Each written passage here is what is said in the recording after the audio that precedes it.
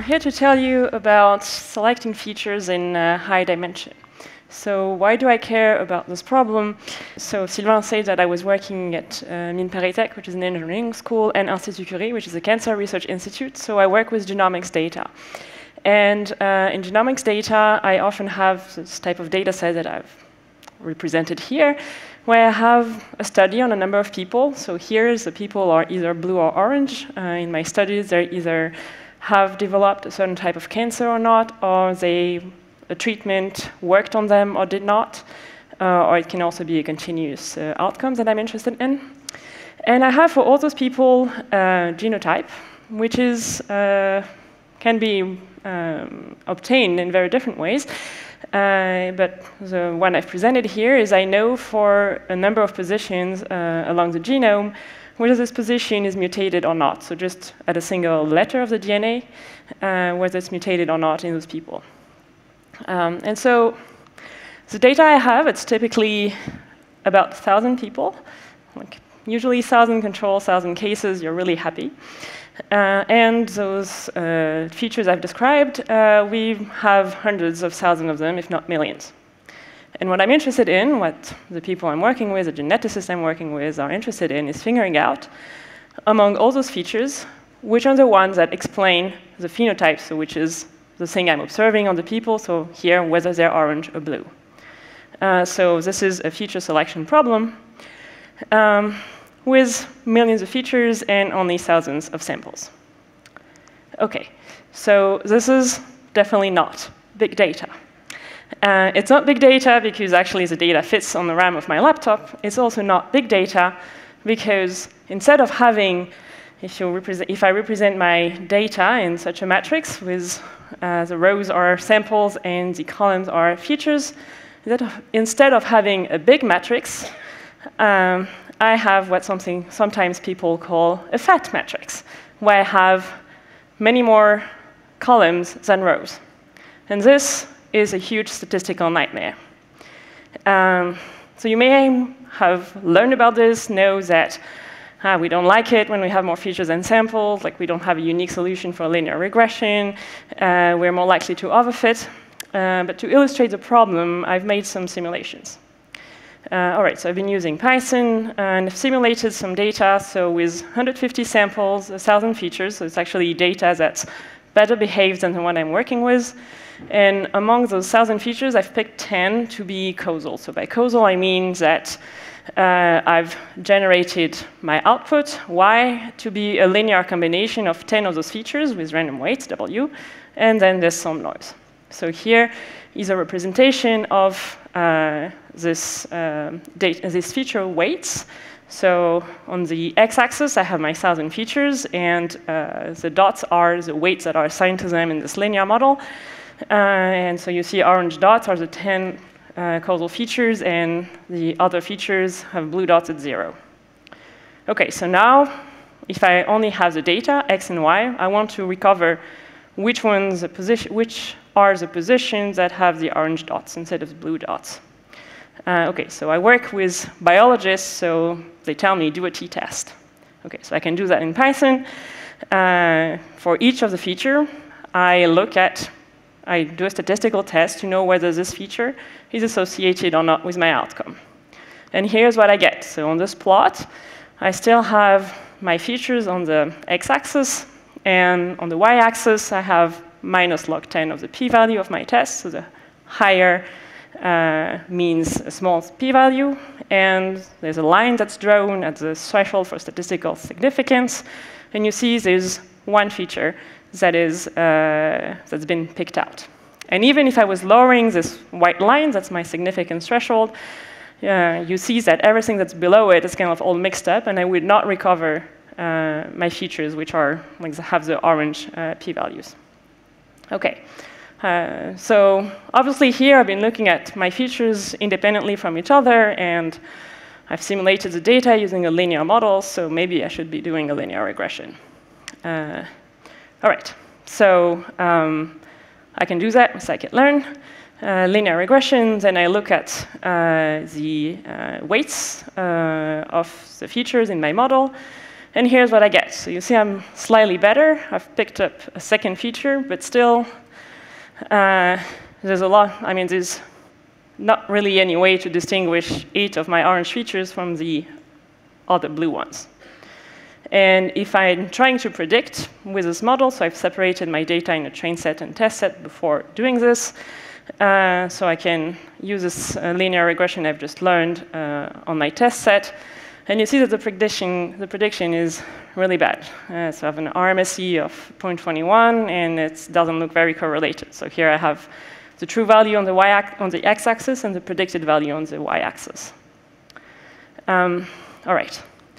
So one solution to this type of problem is called regularization. What is regularization? It's this idea that when you're fitting a linear model, or all sorts of other models, but in particular a linear regression, you're minimizing the loss. So the loss, it's the error uh, that your model is making. Uh, and you don't impose any constraint on your weights. Your weights, they can be anywhere in the space of weight values. So if you have p features, you have p plus one weights in your linear regression if you have a bias, and your features, your weights, sorry, they can be anywhere in r to the p plus one. Now what you can do is add a constraint to the thing you're minimizing. It's called a regularizer, and what it's going to do is going to reduce the space where your weights can live and say, no, it's living here, in that region only. So one example of this, that's quite well known, is to use the L1 norm uh, of the weight vector as a, as a regularizer. So it's the sum of the absolute values of the weights. Uh, and if I do this, uh, so now instead of being able to, instead of being allowed to be anywhere in space, the weights, they are constrained to be in this cube that I've drawn here in 2D. And this is called a lasso. And what the lasso does, it imposes sparsity on the weights. It's going to put a lot of my regression coefficients to zero. So whereas before, in my linear regression, if you recall the plot, the blue dots, they were everywhere, and they were not, there was like no coefficient that was exactly zero. So now I'm going to use this method on my data. It's, it's a standard method. It's implemented in scikit-learn.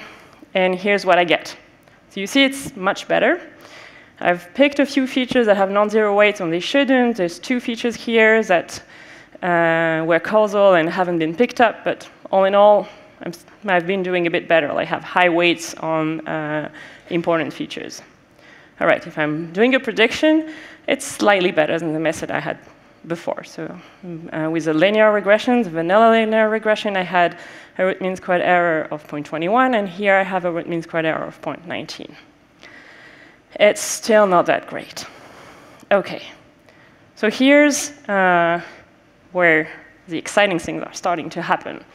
Uh, so when I've been using the sparsity constraint, I've used a form of prior knowledge about my problem, which is that not all the mutations were involved in explaining what I was interested in explaining. Um, and that's not the only thing I know about those mutations. And in particular, in biology, uh, we have a lot of knowledge that's organized as networks. So you know that genes are working with other genes, and you can represent this as a graph or a network. Uh, this is not the only field where you can do this. So if you think uh, of an image, you could say that pixels that are near each other, they're more likely to work together towards representing what's on the, on the picture uh, than uh, pixels that are far apart, or if you have uh, regions of the brains um, they, some of them are connected via synapses, um, and you can represent this as a network. So now I want to use this network to help me do my feature selection problem. So I want that my regression weights that follow the structure. So what this means is that I want that features that are uh, near each other on this network, that are connected on this network, I want them to have weights that are quite similar. And I can do this by adding another term to uh, my objective function. So this is the lasso I was showing before. And now I can add another constraint, so this connectivity constraint. So I'm not going to go into the mathematical details, uh, but what I'm using here is uh, Laplacian L.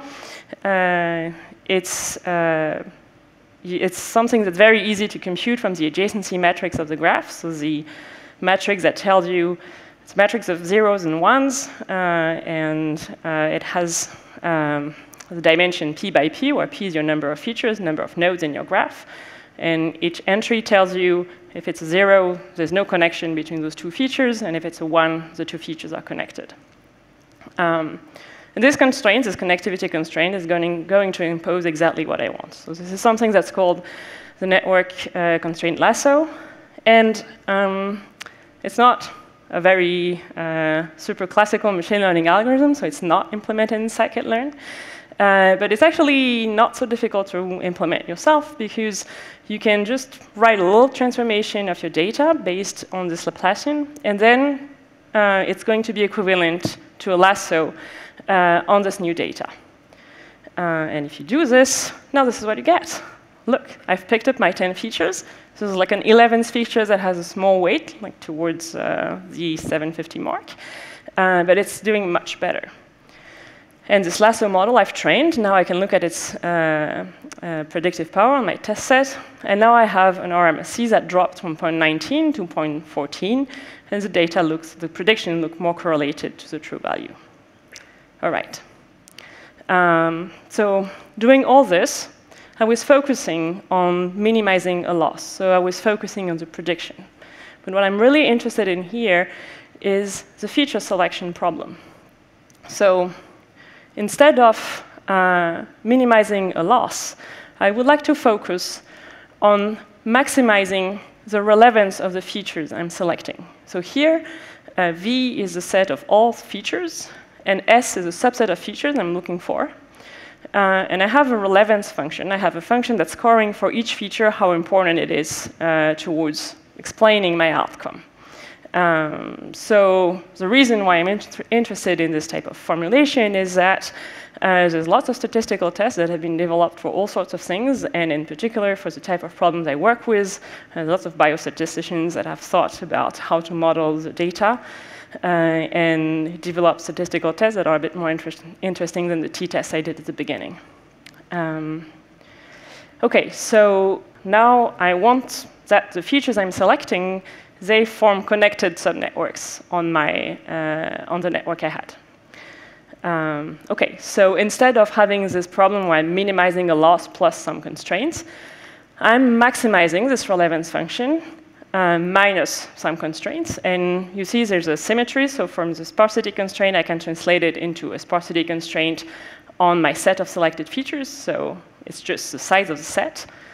Uh, and for the connectivity, I can translate it in something that's uh, very similar, actually. It doesn't uh, look like it on this, on this slide, but what it's saying, is, what it's doing is connectivity constraint, that it's looking at all the pairs of connected nodes, and it's adding one to the constraint term uh, if for this, for this edge, one of the features is selected and the other isn't. So if you have a lot of disconnections, like your features are just spread out anywhere in the network, you're going to have a lot of edges with one node that's, that's selected and the other that aren't, that isn't, sorry.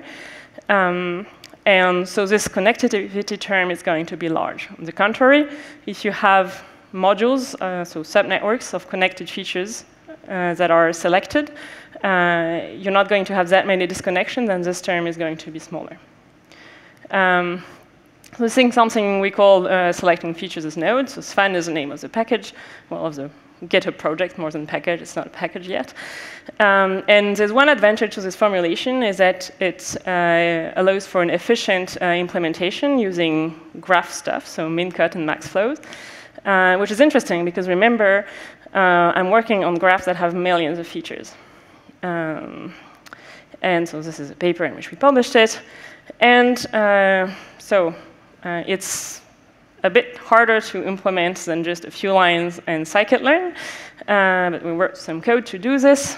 Um, and here is the result of what we're doing. So remember now, I'm only, I don't assign a weight to my feature. A feature is either selected or not selected. Uh, so which is why I only have zero or one, and I picked up exactly the features uh, that I was interested in. Uh, okay, so then I can train a linear regression using uh, only the features that I have selected. And here is uh, what it gives on my test set. So it, um, the RMSE dropped again from 0.14 to 0.10. Uh, and my predictions now look quite correlated to the, uh, to the true outcome. All right, so I hope I've convinced you that when you have more features than samples, you're going to have problems, but we have solutions. Uh, so the first solution is to use constraints. Uh, so you can start by adding using a sparsity constraint, and that's like been well known for quite some time now. It's a lasso. But you can also add some structural constraints um, and tell your features, look, I know how you work. I want the selected features to respect the structure I'm imposing. So I've showed you examples with a graph, but they exist versions with trees. So if you have a hierarchy on your features, and also with groups. So if you know that you have groups of features, so that there's a natural way of grouping your features, and that probably only features from your few groups should be involved in explaining your outcome, you can use that as well. Um, and also, if your main goal is to do feature selection, uh, then maybe you should focus on the feature selection problem, and that's what we've done with this uh, regularized relevance framework, so the uh, selecting, selecting features as nodes fan framework I've presented before. All right. So uh, if you want more information, this is the URL of my, of my website. Uh, you will also find from there my GitHub, uh, the code for Sven, the notebook with all the code that I've presented to you today. And uh, I'd like to finish by thanking first scikit-learn and Matplotlib, without whom I wouldn't have been able to do those slides, and uh, Dominik Grimm, Yoshinobu Kawahara, and Karsten Borgwardt, uh, with whom I've been working uh, a lot on this project. And I'd like to thank you for your attention.